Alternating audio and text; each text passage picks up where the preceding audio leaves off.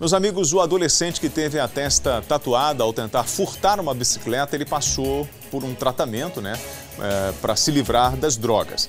Ele recebeu com exclusividade a equipe da Record TV na clínica de reabilitação onde ele está internado.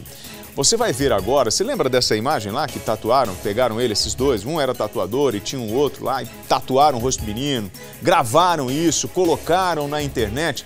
Como é que está a vida desse garoto que teve a testa tatuada? Você vai ver agora na nossa reportagem do dia. Tênis novo, calça jeans, camisa da moda. Você é vaidoso? Sou, sou muito, sou muito vaidoso, eu gosto de cuidar de mim. Este é o jovem de 17 anos que ficou conhecido depois de ter a testa tatuada à força com os dizeres: Eu sou ladrão e vacilão. No começo de junho, o tatuador Maicon dos Reis, de 27 anos, e o pedreiro Ronildo de Araújo, de 29 anos, flagraram um rapaz tentando furtar uma bicicleta dentro da pensão onde os dois moravam, na Grande São Paulo. Eles tatuaram a mensagem na testa como uma forma de punição. Fica quieto aí. Eu sou. O menor era dependente de drogas e álcool, e algumas pessoas se comoveram com a situação.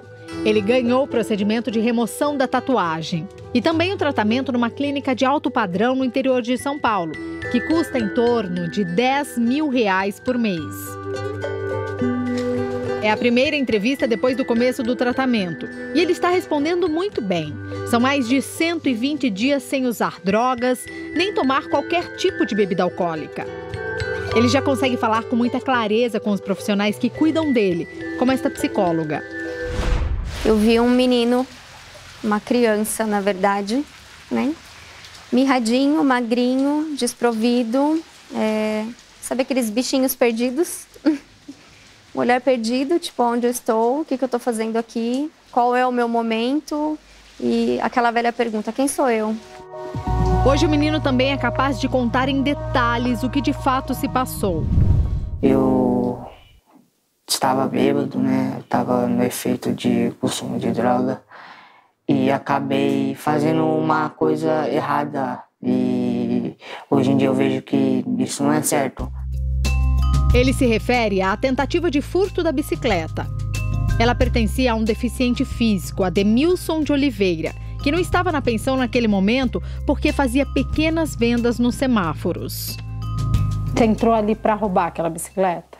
Sim, fui pegar a bicicleta, mas na hora que eu fui pegar, o pedreiro me segurou. E nisso que me segurou, ele colocou em forca-gato no meu braço. Aí nisso veio o tatuador e me deu uns tapas e e já começou a tatuar, falou que me chamou de ladrão, me chamou de vacilão, xingou meus parentes e acabou me tatuando. O vídeo foi publicado na internet pelo próprio tatuador. Horas depois, ele e o pedreiro foram presos. Os dois ainda guardam na cadeia o julgamento do caso.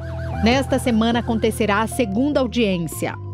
É umas pessoas que não têm afeto pela outra, não têm compaixão pela outra. Então, para mim, essas pessoas não sinto nada, não sinto ódio, não sinto raiva, não sinto nada. Apenas só não ligo com essas pessoas. Apenas só agradeço muito quem me ajudou. É com a ajuda da mãe, a Vânia, que o jovem tenta se recuperar. Ela também está passando por um tratamento psicológico. Quando as drogas ou bebidas, qualquer tipo de vício entra na, no meio da família, não destrói só o usuário, destrói a família toda. Em nenhum momento você sentiu vontade de usar droga, de sair daqui? Não, porque eu sei que se eu voltar a usar droga, eu sei qual é a consequência, sei qual é a situação que eu vou passar. E pela essa situação eu não quero passar mais, que eu sei qual é o final disso. Qual é o final disso? O final disso é eu na rua, usando droga. Minha família chorando dentro de casa, preocupada comigo na rua, é, dormindo na rua, pedindo dinheiro para os outros, eu não quero mais isso para mim. Eu quero trabalhar, quero estudar, quero ter uma faculdade, eu quero ter outra vida para mim.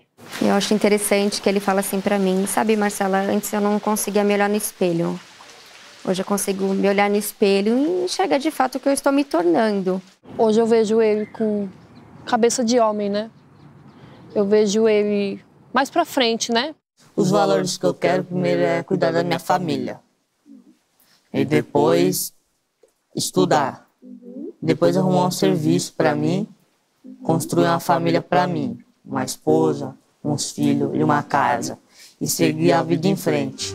Por enquanto, o objetivo maior é concluir o tratamento, se livrar da dependência química e conseguir a remoção completa da tatuagem.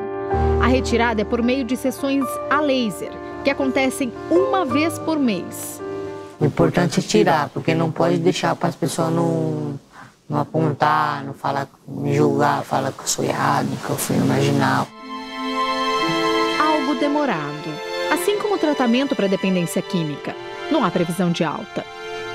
Vou deixar isso, deixar isso para lá, para o passado e vou seguir a vida em frente. Eu vou construir uma nova vida, né?